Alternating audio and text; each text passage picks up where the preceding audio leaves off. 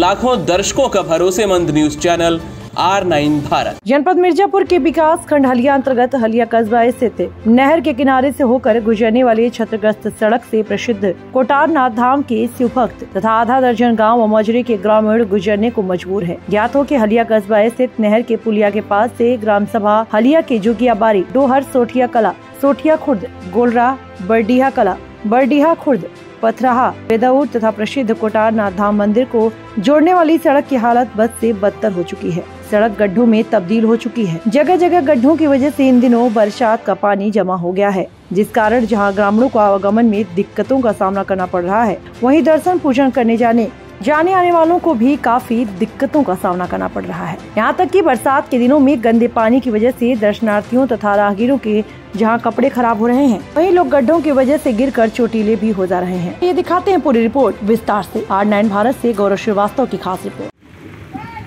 नमस्कार, मैं Gaurav Shrivastava, R nine Bharat से। इस समय मैं हलिया कस्बे के पास मौजूद हूँ, नहर के पटरी के किनारे जो सड़क गई है, और ये प्रमुख मार्ग है जो कि हलिया ग्राम सभा की जोगियाबारी और डोहर ग्राम सोठिया ग्राम सभा के डोहर, सोठिया खुर्द, सोठिया कला, बडिया कला, बडिया खुर्द और पथरहा, बेदौर जैसे तमाम ग्राम सभाओं को जोड़ती है ये सड़क और बड़ी विडम्बना है कि लगभग कई वर्षों से ये सड़क क्षतिग्रस्त खस्ता हाल में है और प्रतिदिन इस रोड से लगभग हज़ारों की संख्या में लोगों का आवागमन है, लेकिन फिर भी सरकार या राजनेताओं का इस तरफ़ ध्यान जनप्रतिनिधियों का नहीं जा रहा है और प्रतिदिन इस सड़क से लगभग हज़ारों की संख्या में लोग गुजरते हैं और इस गड्ढे युक्त सड़क में गिरकर चोटिल हो जाते हैं और उनके कपड़े भी खराब हो जाते हैं। मैं दिखाना चाहूँगा कि देख सकते हैं आप, ये सड़क की क्या दुर्दशा है। ऐसे पूरी सड़क आप जहाँ तक जाएँगे आगे, पूरी सड़क का यही हाल है और ये काफ़ी दिनों से इसी हाल में है।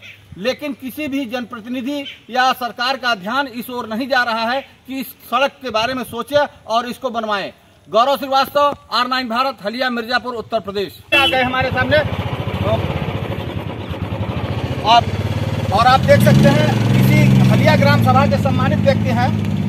पवन जी पवन त्रिपाठी जी मैं उनसे भी बात करना चाहूँगा। ये बताइए पवन जी इस रोड के बारे में आप तो अच्छी तरीके से जानते हैं कि लगभग 10 से 15 मजरे होंगे चार पाँच ग्राम सभा होंगे। जी सर। और सबसे बड़ी बात की सिद्धपीठ है ये कोटारनाथ का जो कि क्षेत्रीय लोगों के साथ गैर जनपदों से लोग प्रतिदिन सैकड़ों की संख्या में लोग दर्शन पूजन करने के लिए आते हैं। लेकिन इस रोड की खस्ता हालत के बारे में आप क्या कहेंगे? हमको तो सरकार से गुजारिश है सरकार इस पे ध्यान दे।